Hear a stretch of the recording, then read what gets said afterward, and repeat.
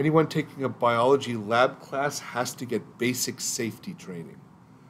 You have to get safety training from your lab instructor, and you also have to read and sign a statement that you read.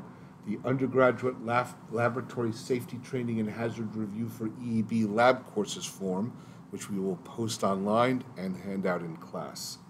There are several rules that apply to every lab, and the first and most important is there can be no food or drink in the lab. You can't even bring in an empty container and throw it in the garbage. If we ever get inspected and they see an empty water bottle in the garbage can, we can get a fine for that. You're allowed to leave food or drink over by the door or hidden in your backpack, but no food or drink item can be visible in the lab at any time.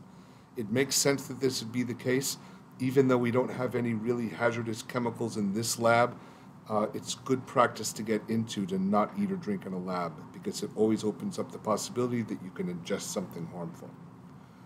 The second rule is that the backpacks have to be underneath your bench. They cannot be out in the uh, outside of that because people are going to be walking around during the lab. They could be carrying glassware or other things, and it would be easier easy to trip over something, especially in the center aisle. It's also a good idea not to put books or backpacks on your bench because during the course of the lab, you're going to be doing experiments where there's going to be a lot of items on your bench, and it uh, makes it go more smoothly if you keep everything organized and less cluttered. You should know the locations of certain places in the lab. For example, over by the door are safety showers. Although we don't have any really flammable chemicals in the lab, our lab is equipped with a safety shower like most labs if you set your clothes on fire somehow, you would go over and pull the pull the handle and it would put out that fire. We also have eye wash stations at some of the sinks. If you get a harmful chemical in your eye, you're supposed to wash your eyes for at least half a minute. Just flood them with water.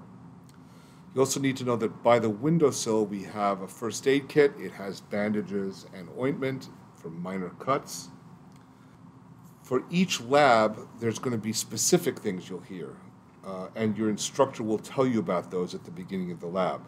For example, some labs we will have hazardous chemicals which cannot be thrown down the sink, and we will have a waste container dedicated to that. So when you're finished with the experiment, the, the leftover reagents will go in that waste container. In other labs, we'll have hot plates, and you'll just have to be aware that those hot plates could burn you if you touched them, very often there'll be gloves or tongs that you'll use to uh, add or take away glassware from the hot plate. For some labs, we might require you to wear eye protection. There's nothing that's explosive or dangerous in any way that you wouldn't, nothing that you wouldn't encounter in your kitchen uh, could happen in the lab. For instance, you could drop a plate in your kitchen and get a piece of glass in your eye.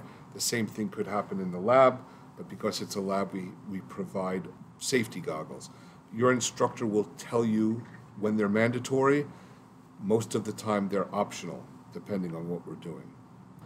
For our majors courses, Biology 107 and 108, lab coats are mandatory. You can pick up lab coats either online or you can buy them in the bookstore, and you have to have your lab coat every, every period.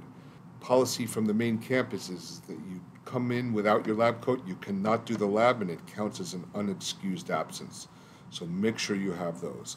You should, if you can, you can leave them in your car or your, or your locker on campus. In terms of how you should dress, we require that you don't have any open-toed shoes, so no sandals. The reason is you could drop something easily on your foot, and if you have an open-toed shoe, it could injure you more.